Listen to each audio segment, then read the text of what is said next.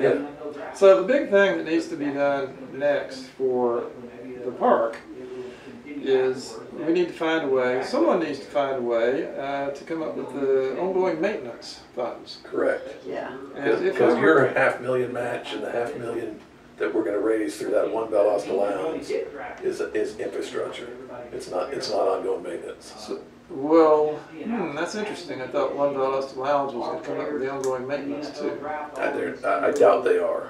Well, where They're trying to hire a director right now. I just got a call from somebody pretty sharp and said, is, is this job a good job? And I said, well, it's a four-year job, so careful. Um, it has to have its own success in four years to, to carry on beyond that. Mhm. Uh, It's more publicly funded. Well, part of maybe what they could work on is the ongoing maintenance money, or do you have ideas where else it could